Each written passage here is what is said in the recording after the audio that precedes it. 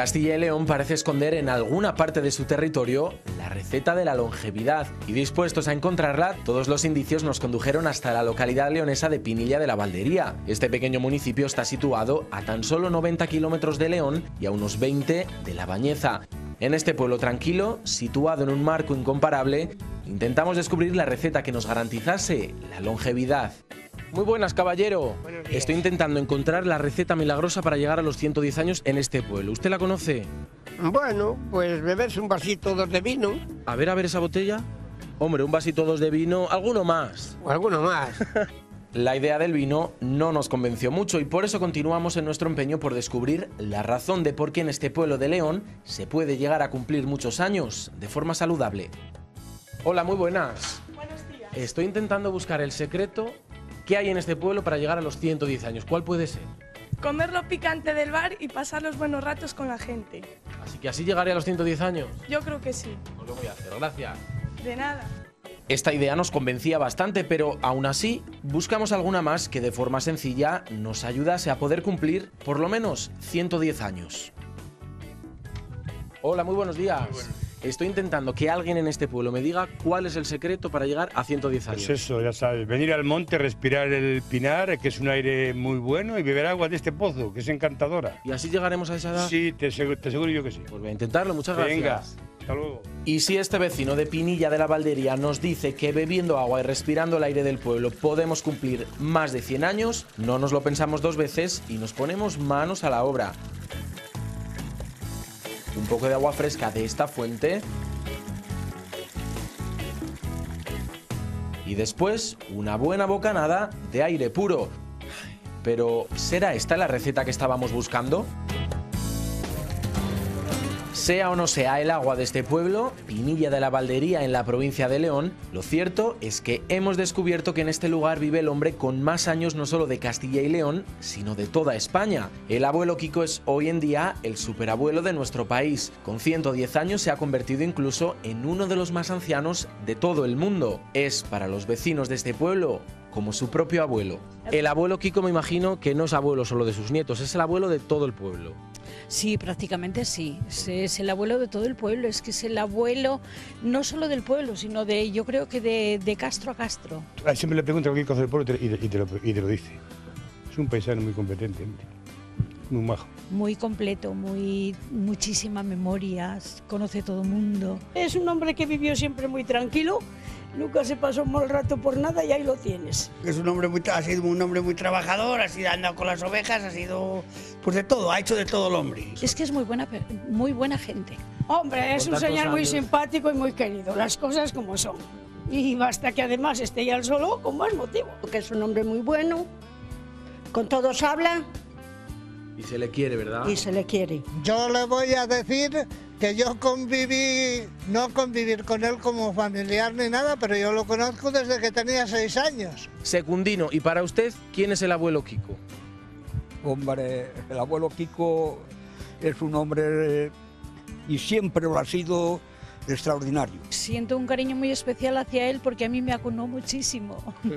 Este hombre me da gusto el verlo porque todo el mundo es a saludarlo. Y Bernardo, si le pregunto por el abuelo Kiko, ¿usted qué me Bueno, diría? pues yo el abuelo lo conocí eh, desde chavalín. Es un paisano, oye, que ha trabajado aquí toda la puñetera vida y, y ya sabes, ahí lo tienes. Eh, yo le fui a ayudar algunas veces y, y un hijo de él iba conmigo al lote que yo tenía. Y crió los hijos, que mucho también, y que en aquella época había que funcionar bastante. Imagínese que usted llega a los 110 años. Sería casi como un récord eso.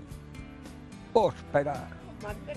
Oh, oh, hoy a mí 110 años. Estando como él sí, estando como él por más todavía. Estando bien merece la pena vivir 110 y 120. Si yo ya tengo 80, ¿qué crees? Pero él puede ser su abuelo también, que es el abuelo de todo el pueblo, ¿o no? Claro que puede ser. Y nada más. Es especial. Una chica bonita que de pastora va.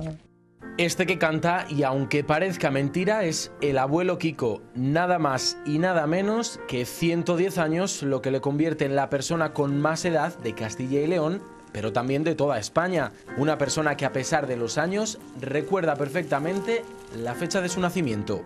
En 1901. 1901.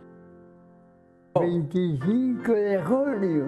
Un 25 de julio de 1901 nacía Francisco Fernández Fernández, más conocido como el abuelo Kiko. Hoy, 110 años después, puede presumir de gozar de una salud de hierro y con una familia más que numerosa, quienes presumen orgullosos de tener un abuelo así.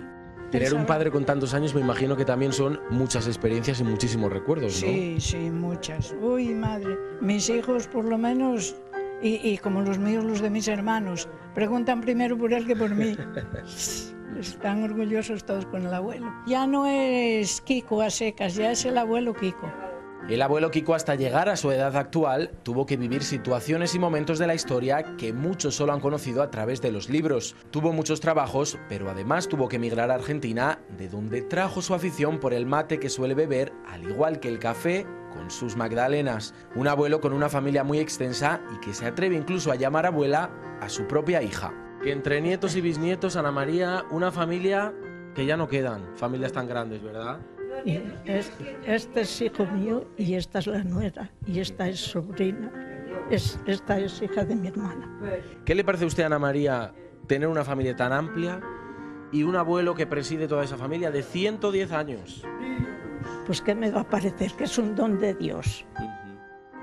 ¿Quién Me llegara, verdad? Quien llegara. Yo no pienso llegar. Además a usted la llama la abuela, como si fuera su abuela y usted es más joven que él. Y madre, me llama. Ana María, y si todo va bien, en un tiempo pasará de ser abuelo a bisabuelo y será tatarabuelo. Tatarabuelo. Pero entonces, Ana María, si yo me pongo a echar cuentas, la diferencia entre la nieta más pequeña que tiene dos años y el abuelo que tiene 110, 108 años de 108. diferencia. 108. Eso es muchísimo. Hombre, Y Yoli es la encargada de cuidar al abuelo Kiko y pasear junto a él por las calles del pueblo que nuestro superabuelo se conoce a la perfección. A ellos dos les une una gran amistad y mucho cariño. Pues encantador, encantador. A veces se enfada y tiene sus cosas, pero bueno, pero se lleva bien, es buena gente. Pero ¿cuál es su secreto para tener esos años? Quereros mucho, no le hagáis mal a nadie. Dice que yo nunca le hice mal a nadie. Será el pueblo, serán los aires. Yo qué sé, qué será.